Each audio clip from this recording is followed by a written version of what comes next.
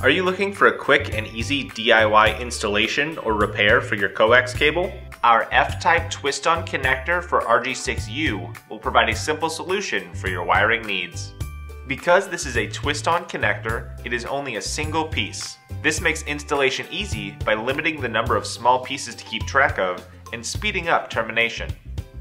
For this installation you will need a coax stripper, coax cable, and the twist-on connector. Keep in mind you will want to make sure that your coax stripper and connector match the cable that you are installing. Using your cable stripper, strip back the outer jacket and dielectric. The advantage of using a cable stripper is that it will strip back the jacket and dielectric at the same time. Fold back the braided shield and insert the connector housing onto the cable. You will need to apply a bit of pressure and twist to make termination onto the cable jacket.